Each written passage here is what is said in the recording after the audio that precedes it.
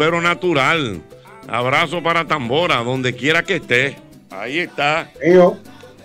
Ay, papá, Dios mío, el mismo golpe. Siempre Pero no saben nada. La gente que comenta. Se van, se van.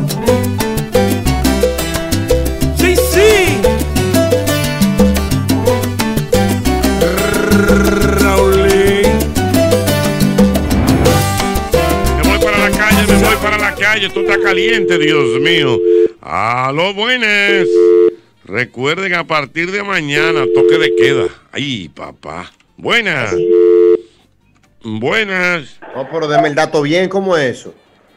A partir de mañana vuelve el toque de queda. Déjame atender esta línea. Buenas. Aló, buenas. Dígame, señor. Ah, se cayó.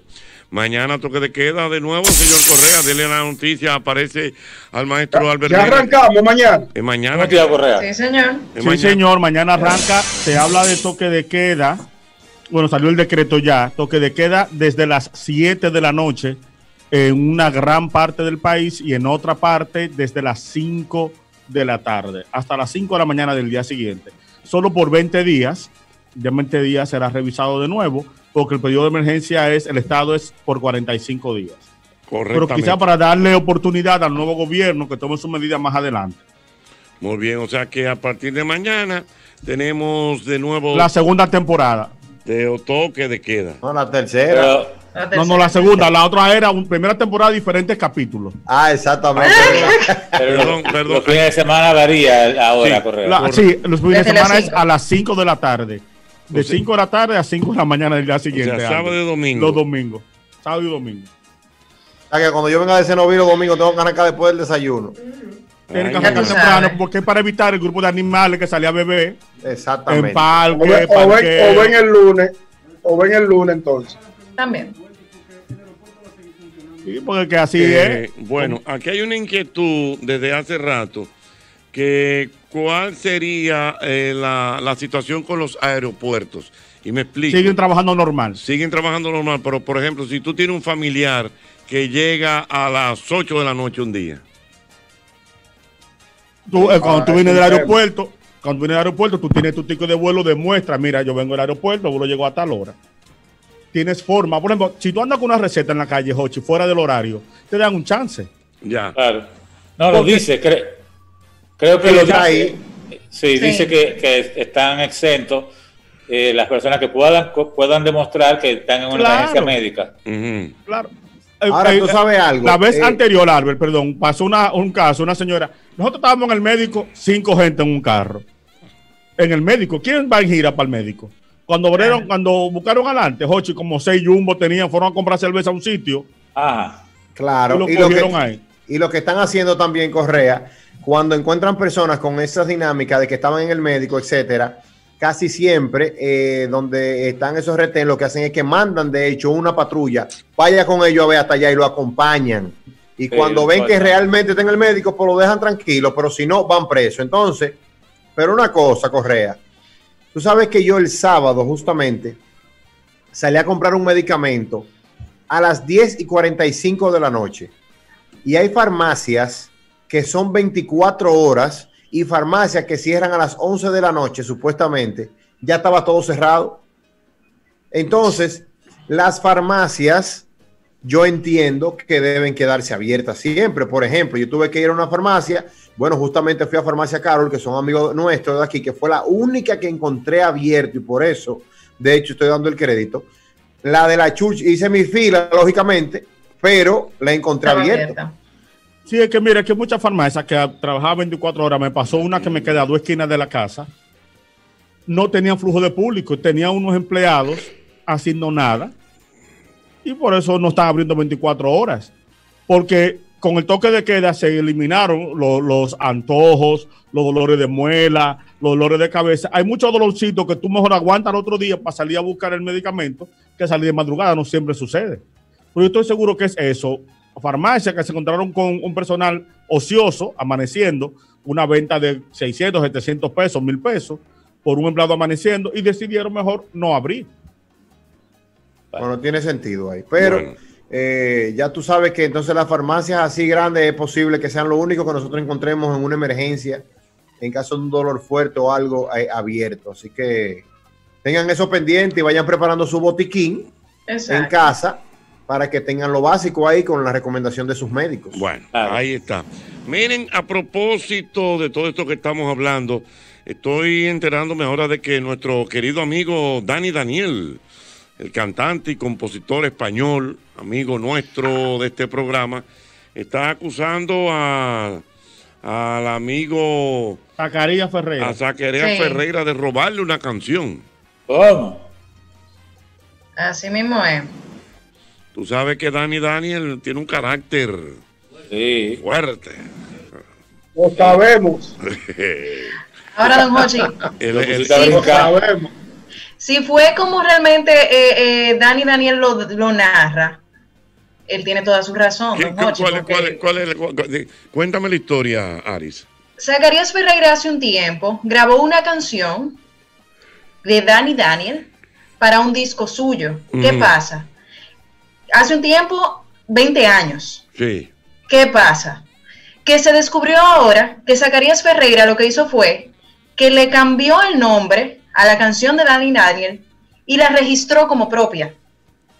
¿Y Lo que hizo fue simplemente ponerle otro nombre a la misma canción que él había grabado hace mucho de la autoría de Dani Daniel. ¿Y qué canción es esa? Se llama, espérese, que tengo el dato aquí. Entonces, si es realmente así como se está narrando, Dani Daniel tiene toda la razón en, en- en acusarlo, don Hochi. La canción se llama Tú no correspondes y Zacarías Ferreira le, can- le cambió el nombre a Te quiero a ti y la registró como suya. Wow.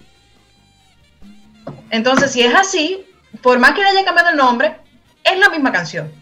Entonces, Hay que ver si Dani Daniel la tiene registrada.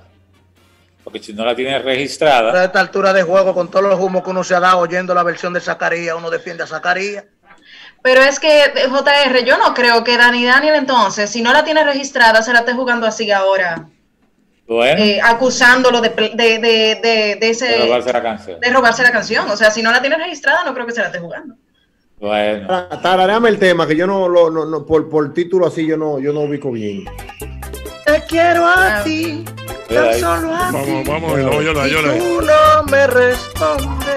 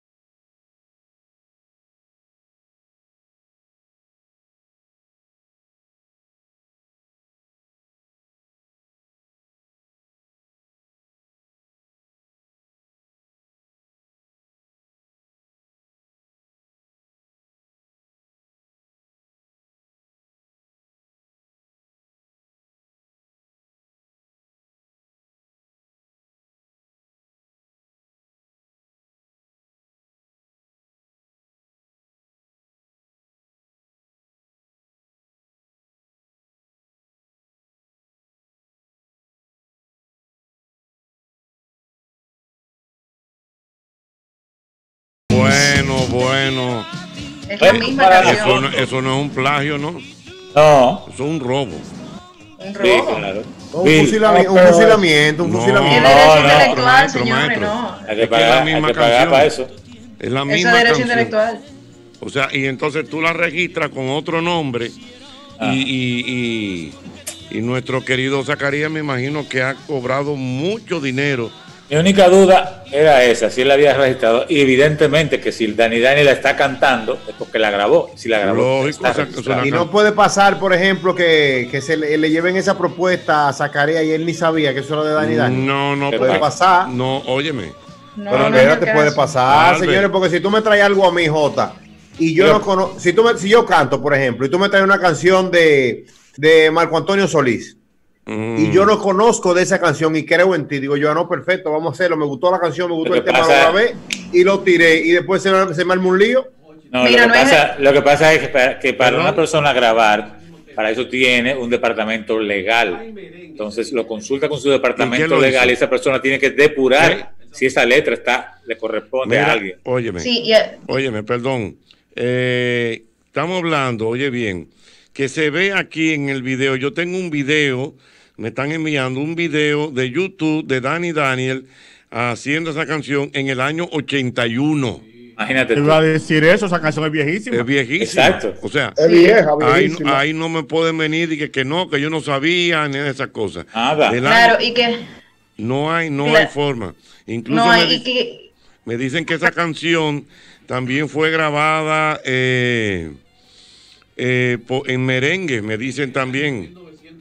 Eh, exactamente.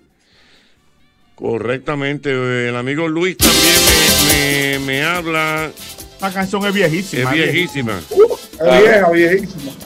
Eh, sí, exactamente. O sea, no hay forma, no hay forma. Muy, me- óyelo ahí. Mira.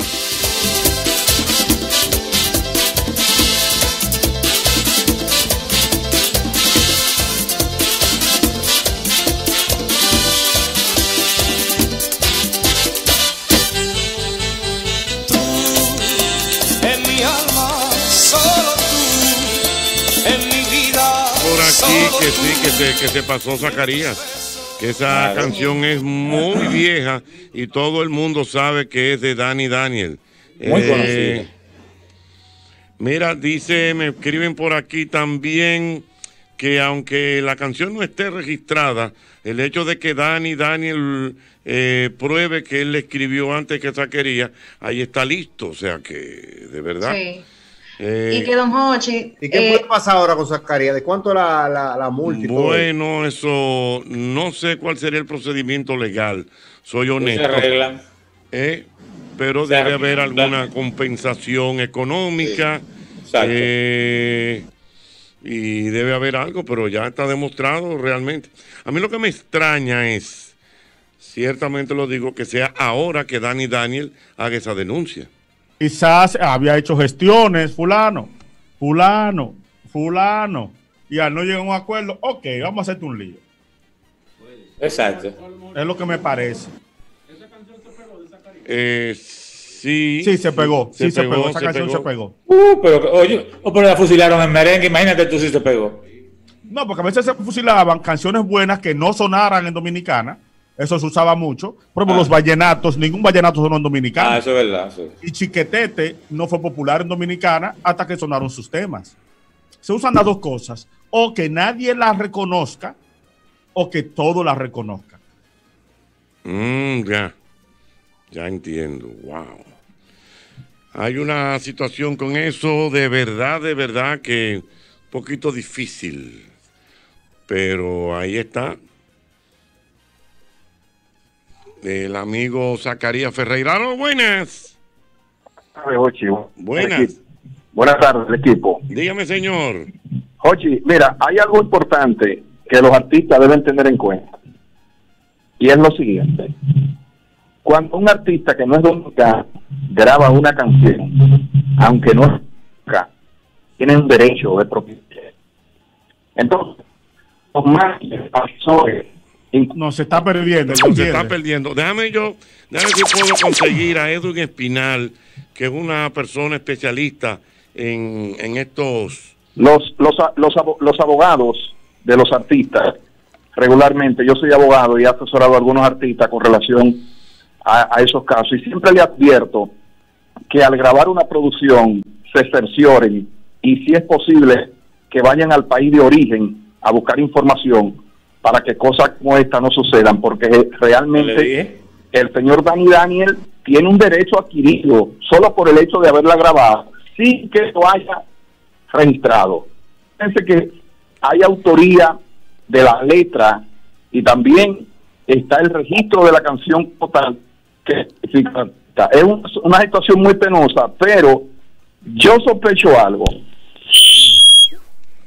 Alguna conversación entre las partes y no hubo acuerdo. Entonces los abogados del señor Dani Dani van a proceder.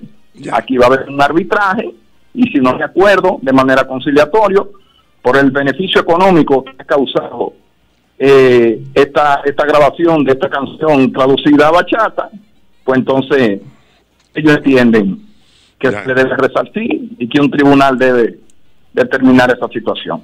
Bueno, vamos a ver, Dios mío, mira qué, qué situación. Eh, déjame ver si puedo conseguir a Dani Daniel también. Eh, yo tengo, lo- tenemos el ocurrido ahí de Dani Daniel.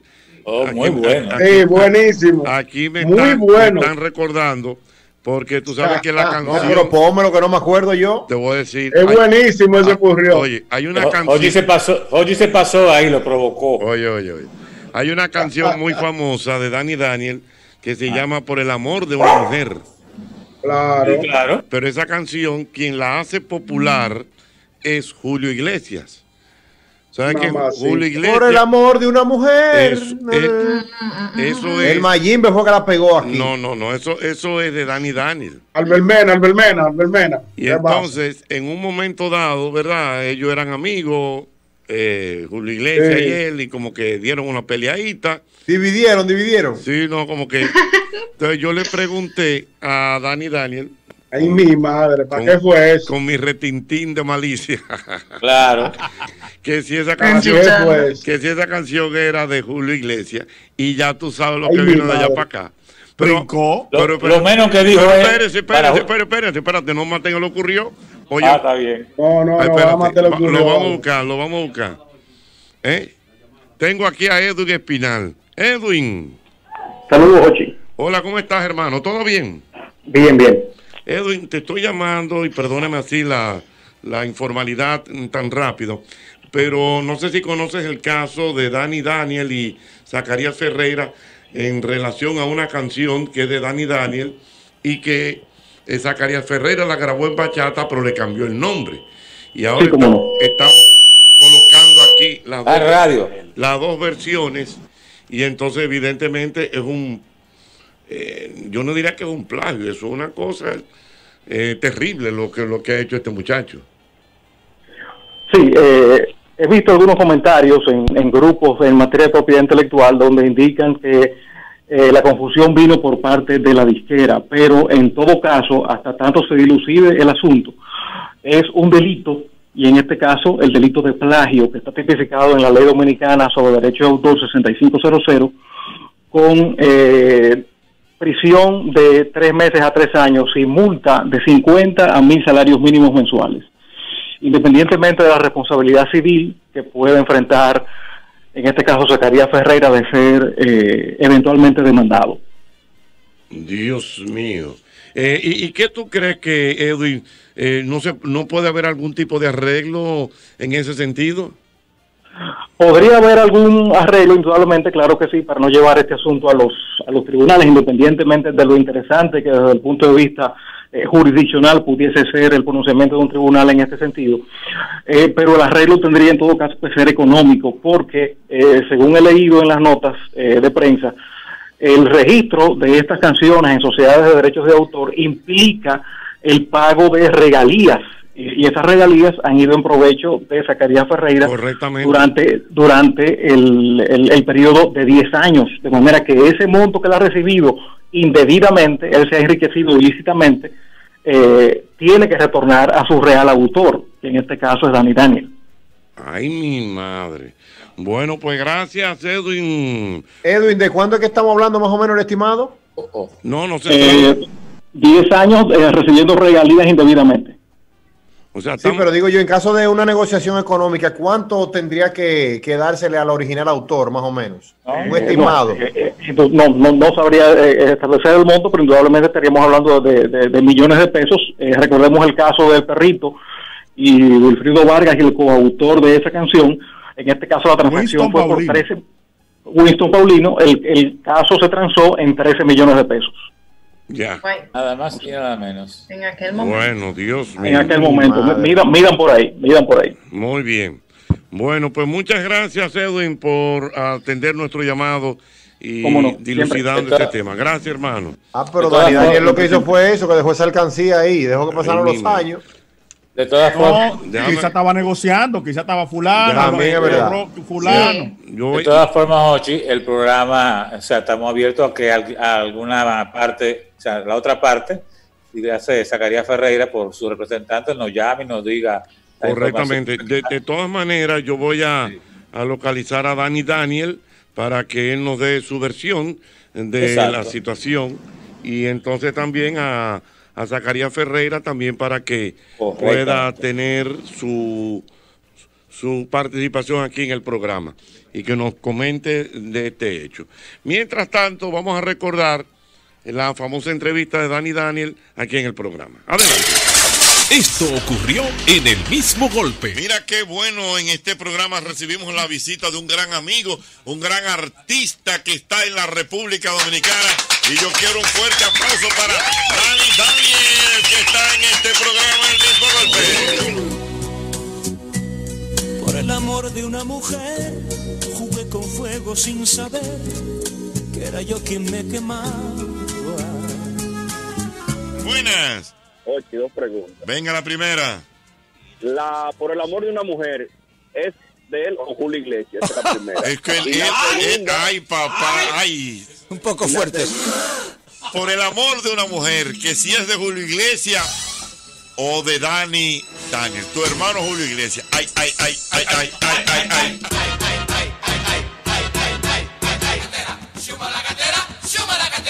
Veneno, viene veneno, dale Dani. Digo que para que Julio Iglesias haga una canción de ese nivel tendría que nacer siete veces. Bomba. Mamacilla. Tiene que nacer siete veces. No, no, no, pero dame tiro, el tiro, tiro, que están tirando, tío. Miércoles, que para que Julio Iglesias haga una canción así.